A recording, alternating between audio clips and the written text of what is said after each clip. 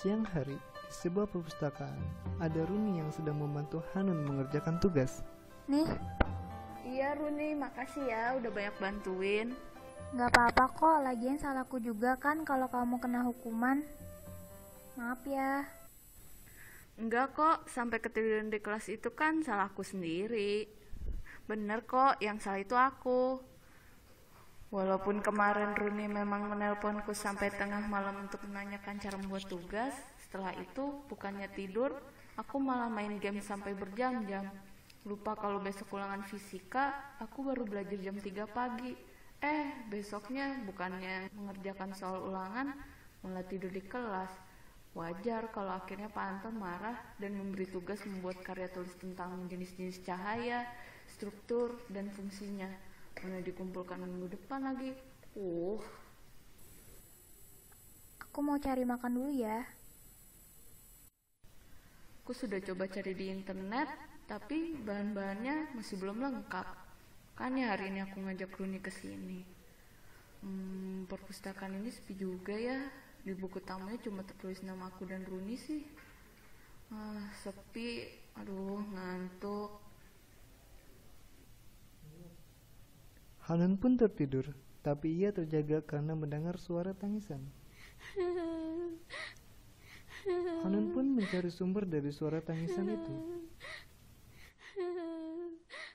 Bukannya di sini cuma ada Runi dan aku.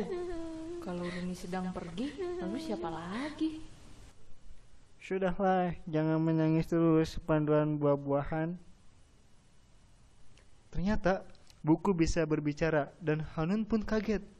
Ia langsung sembunyi di balik rak dan menguping pembicaraan buku-buku itu. apa itu? Buku. Tapi kenapa bukunya bisa bicara?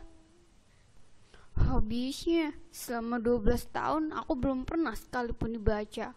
Padahal Indonesia adalah negara agraris, tapi kenapa buku tentang pertanian sepertiku tidak pernah dibaca? Hmm, kalau itu sih mungkin. Meskipun Indonesia adalah negara agraris, kebanyakan dari petaninya miskin. Karena miskin, mereka tidak mampu sekolah. Bahkan, banyak yang menganggap sekolah itu percuma. Akibatnya, banyak petani yang buta huruf. Sehingga informasi yang disebarkan dalam bentuk tulisan, mereka tidak mengerti dan mereka juga tidak dapat meningkatkan hasil pertanian mereka seperti seharusnya. Sehingga mereka tetap miskin. Sebenarnya pemerintah Indonesia telah berusaha mengatasi masalah ini, tapi ya Tunggu dulu. Kalau begitu, kenapa aku juga tidak pernah dibaca? Padahal aku kan buku tentang virus. Aku juga tidak pernah dibaca, padahal aku buku tentang hewan. Aku juga. uh bingung. oh, kakek buku. Ini dia semuanya. Kakek buku akan menjelaskan mengapa kita tidak pernah Oh. dibaca. Sepertinya kalian sedang bersenang-senang.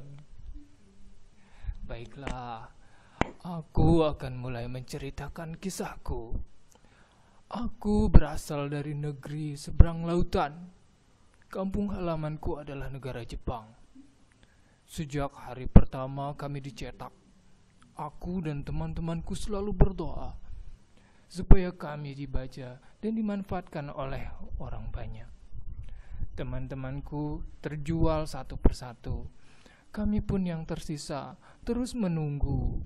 Setiap kali ada yang mampir ke toko kami, atau ketika melihat orang yang membaca buku di luar toko, kami akan berebut dan berteriak, "Dia pasti akan membeliku!" Namun, pada suatu hari, pemerintah negeriku memutuskan untuk memberikan sumbangan buku ke negara Indonesia. Pada mulanya aku senang. Aku berharap bisa lebih berguna di sini daripada di negara asalku. Tapi kenyataannya, selama 50 tahun aku hidup, belum pernah ada satu orang pun yang membacaku. Memang, tidak semua orang bisa membacaku, karena aku tidak ditulis dengan huruf latin. Tapi sebentar lagi, aku pasti akan hancur dan lapuk, dimakan kutu-kutu buku. Orang Indonesia itu jarang membaca jika sedang di perjalanan, menunggu sesuatu atau lainnya. Mereka lebih suka ngobrol. Belum lagi dengan adanya internet. Ada juga sekolah-sekolah yang masih melarang siswanya membawa buku selain buku pelajaran. Hanun pun tersentak dan dalam hati dia membenarkan perkataan buku tua tersebut.